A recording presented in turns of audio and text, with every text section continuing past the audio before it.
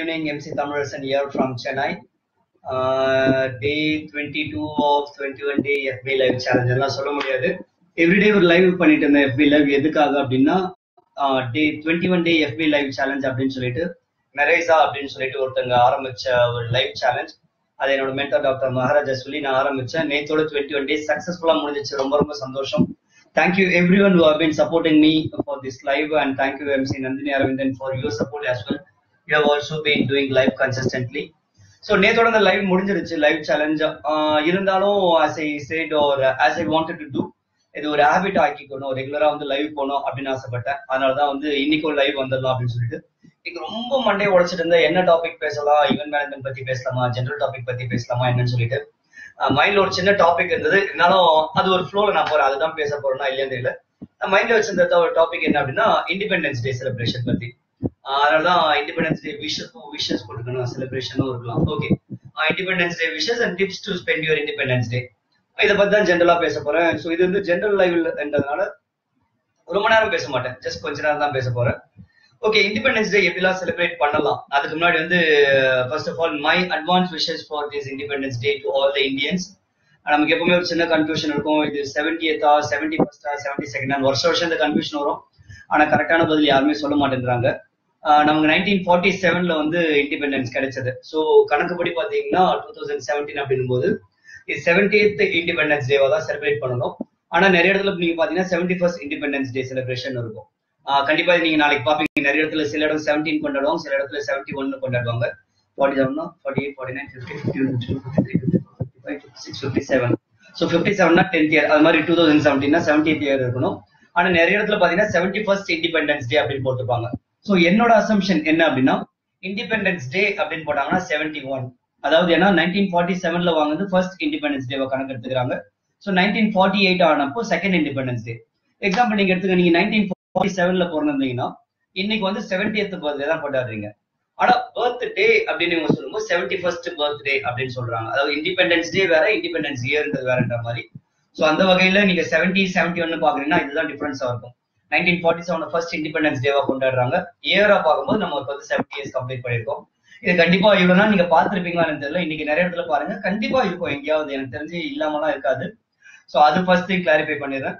Independence day பத்தி நிறைய events நடக்கும். ஸோ என்ன மாதிரியான ஈவெண்ட்ஸ்க்கு நீங்க போகலாம் அப்படின்றத இந்த வீடியோல பேச போறேன்.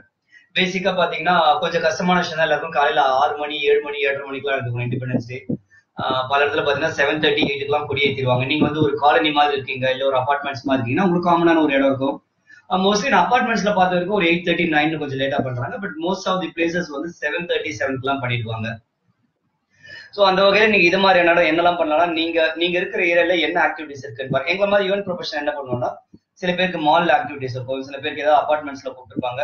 நான் ரெகுலரா இந்த நேரத்துல நான் ஒரு தேங்க்ஸ் சொல்லி கடமைப்பட்டிருக்கேன். ஒரு முக்கியமான ஒரு விஷயத்தை ஷேர் பண்ணும் ஓகே அந்த டாபிக்ல லைட்டா ஹோல்ட்ல இருக்கு என்ன அப்படின்னா என்னோட ஈவெண்ட்ஸ் கெரியர்ல நாளைக்கு அதாவது இண்டிபெண்டன்ஸ் டே ஆனோம் it's got be second year of my out station event as நான் ஈவெண்ட் இண்டஸ்ட்ரியில லாஸ்ட் ஃபைவ் இயர்ஸா இருக்கேன். பட் ஆக்டிவா இருக்கிறது இந்த டூ அண்ட் ஆஃப் இயர்ஸ் அதுல நான் first first out station event அதாவது சென்னையை விட்டு நான் வெளியே போய் ஈவெண்ட் பண்ணேன் அப்படின்னா it's in two thousand fifteen August fifteenth அப்படிதான் சொல்லணும்.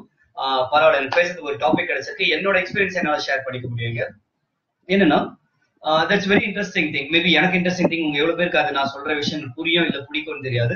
ஆனா சென்னையில தான் ஃபுல்லா ஈவெண்ட்ஸ் பண்ணிட்டு இருந்தேன். நான் வந்து I want to expand across Tamil Nadu. வெளியே சென்னை விட்டு வெளியே பண்ணணும்னு ஆசைப்பட்டுட்டேன். அந்த நேரத்துல தான் நான் இந்த ஒரு விஷயம் நான் சொல்றது வந்து நிறைய விஷயத்த கனெக்ட் பண்ணும் அது ஏன்னு தெரியல அவ்வளவு விஷயங்கள் எனக்குள்ள வந்து இந்த ஒரு விஷயம் வந்து கனெக்ட் பண்ணிருக்கு மேபி நான் பேச பேச உங்களுக்கு புரியும். ஃபைனலா நீங்க எல்லாமே ஒண்ணு சேர்க்கும் போது ஒரு விஷயம் புரியும். என்ன அப்படின்னா நான் எக்ஸல்ல ஒர்க் பண்ணிட்டு இருக்கும்போது எனக்கு ஒரு மேனேஜர் ஹார்திக் பட்டேல் இருந்தாரு. அவர் வந்து ஒரு ஆர்ஃபனேஜ் போக எனக்கு கால் பண்ணி கேட்டார். நாங்கள் ஆர்ஃபனேஜ் போறோம் என்சிஎல் சார்பா நீ வர முடியுமான்னு சொல்லிட்டு அதுதான் அந்த சென்னாபுரி அன்னதான சமாஜம் சொல்லிட்டு அடையாறு அரௌண்ட் ஒரு ஒன் பிப்டி டூ ஹண்ட்ரட் கிட்ஸும் போய் ஒரு ஃபுல் டே என்டர்டைன் பண்ணும். அந்த இடத்துல நான் எப்பவுமே சொன்னேன் ஹெச்எல் இஸ் மை செகண்ட் ஃபேமிலின்னு சொல்லிட்டு அவ்வளோ க்ளோஸ் ஆன விஷயங்கள் எனக்கு ஹெச்எல் ஹெச்எல் எனக்கு அவ்வளோ ஃப்ரெண்ட்ஸ் இருக்காங்க. அதுக்கப்புறம் நான் மீட் பண்ண நிறைய பேர் ஹெச்எல்ல இருக்கிறவங்க. இப்படிதான் இருந்தது. ஸோ இந்த குரூப் வந்தப்போ அதுல எனக்கு ஹார்திக் பட்டேல் மட்டும்தான் தெரியும்.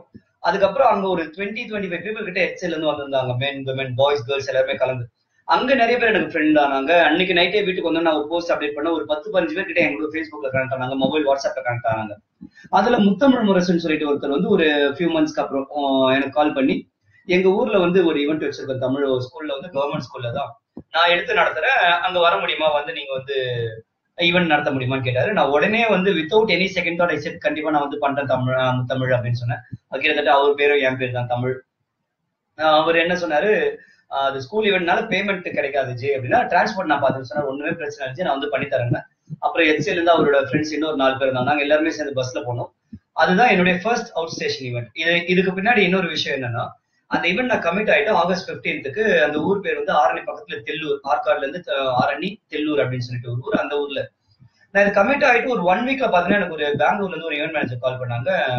ஒரு ஈவெண்ட் வேலூர்ல இருக்கு அப்படின்னு சொன்னாங்க. என்னைக்குன்னு கேட்டேன்? ஆகஸ்ட் 15 சொன்னாங்க. எனக்கு ஒரு டைலமா ஐயோ ஒரு ஈவெண்ட் நம்ம கமிட் பண்ணியிருக்கோம். அதுக்கு அன்னைக்கே வேற ஒரு ஈவெண்ட் வருது. எப்படி என்ன பண்ணலாம்னு ஒரு கன்ஃபியூஷன் அவங்ககிட்ட கேட்டேன் எப்போ இந்த ஈவெண்ட் கேட்டா ஈவினிங் அப்படின்னு சொன்னாங்க. எனக்கு ஒரே சந்தோஷம். ஏன்னா என்னோட ஈவெண்ட் என்ஜிஓ ஈவெண்ட் அந்த ஸ்கூல் ஈவெண்ட் வந்து மார்னிங் இது வந்து வேலூர்ல ஈவினிங் என்னும் போது எனக்கு அங்க இருந்து வேலூர் பக்கம் தான் சென்னையில இருந்து வேலூர் போறத விட ஆரணில இருந்து பக்கம். சோ நான் நினைச்ச கடவுளா கொடுத்த வாய்ப்பு இது. நான் வந்து அந்த out station event school event காலையில முடிச்சுட்டு மத்தியானம் போயிட்டு வேலூர் பண்ண முடியும் அப்படின்னு சொல்லிட்டு. அன்னைக்கு தான் லைஃப் ஒரு விஷயம் புரியுது அதுக்கப்புறம் நிறைய நேரத்துல எனக்கு அது நடந்திருக்கு. நான் எப்பெல்லாம் ஒரு என்ஜிஓ இவெண்ட்டோ இல்ல ஃப்ரீ இவெண்ட்டுக்கோ நான் வந்து கமிட் பண்றேனோ கொஞ்சம் லாங் பேக் முன்னாடி கமிட் பண்றனோ அது கூடவே சேர்ந்து எனக்கு நிறைய பெய்ட் இவெண்ட் வந்து கமிட் ஆயிருக்கு. இந்த ஈவெண்ட் நடந்தது அதுக்கப்புறமா நான் ஃப்ரெண்ட்ஸ் வெல்ஃபேர் ட்ரஸ்ட் ஒரு ஈவெண்ட் ஒரு ரெகுலரா பண்ணுவேன் வருஷம் வருஷம். அவங்களோட ஆனுவல் டே செலிப்ரேட் பண்ணி அந்த நீடி பீப்புளுக்கு வந்து அந்த மணி வந்து ஸ்பெண்ட் பண்ணுவோம். அந்த ஈவெண்ட் நடத்தும் போது அன்னைக்கு ஒருத்தரை மீட் பண்ணி அவர் மூலமா ஒரு சங்கீத் ஓகே ஆச்சு. அது மாதிரி வந்து சம்வேர் நான் என்ஜாயின் பண்ணும்போது அது வேற எங்கேயோ ரிலேட் பண்ணி வேற ஏதாவது ஒரு பெரிய பெரிய ஈவெண்ட் வரும். பட் அதுக்காக தான் நான் என்ஜாயின் பண்றேன்றது கிடையாது. ஜஸ்ட் இட்ஸ் கோயின்சிடன்ஸ் அந்த மாதிரி பண்ணும்போது. அந்த வகையில நான் இந்த தெல்லூர் கவர்மெண்ட் ஸ்கூலோட ஈவெண்ட் நான் எடுத்த நேரம் எனக்கு வந்து கரெக்டா வேலூர்ல வந்து அந்த டாக்டர்ஸ் கான்ஃபரன்ஸ் ஹோஸ்ட் பண்ற விஷயம் கிடைச்சது. அது இன்னொரு சேலஞ்சிங்கான ஈவெண்ட் பயங்கர மழை. ஒன் ஹவர்ல முடிய வேண்டிய ஈவெண்ட் ஆறு மணிக்கு ஆரம்பிச்சு ஏழுக்கு முடிய வேண்டியது. மழையில நிறுத்தி நிறுத்தி நிறுத்தி நைட் லெவன் தேர்ட்டி வரைக்கும் அந்த ஈவெண்ட் பண்ணோம். அந்த ஈவெண்ட்ல எனக்கு நிறைய ஒரு இன்ட்ரோஸ்பெக்ஷன் நடந்தது. அந்த ஒரு ஈவெண்ட் எப்படி ஒரு ஓன்னஸ் நான் ஒரு ஓனர்ஷிப் எடுத்துக்கிட்டு அந்த ஈவெண்ட்டை நடத்தி காமிப்பேன் முடிச்சு காமிப்பேன் அப்படின்னு சொல்லிட்டு பர்சிவியரன்ஸா இருந்து அந்த ஈவெண்ட்டை நல்லா நடத்தி முடிச்சோம். அது மாதிரி அந்த ஆகஸ்ட் 15க்கு அவ்வளவு ஒரு சிறப்பு அம்சம் இருக்கு. Two thousand fifteen which I cannot forget in my life first thing I went to village Telugu என்ற வில்லேஜ்ல போயிட்டு ஸ்கூல் கிட்ஸ் பண்ணது.